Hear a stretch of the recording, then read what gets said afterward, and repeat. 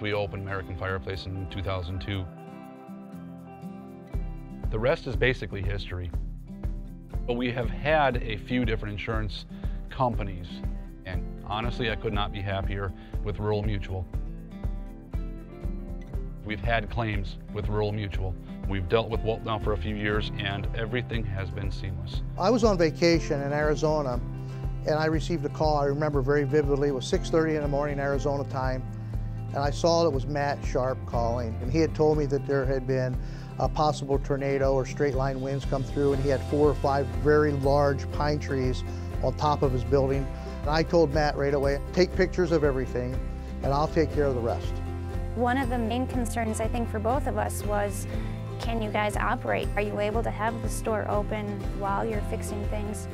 So in the fireplace industry, you have a very tight schedule that you have to keep on a daily basis. You do not have time to put customers off.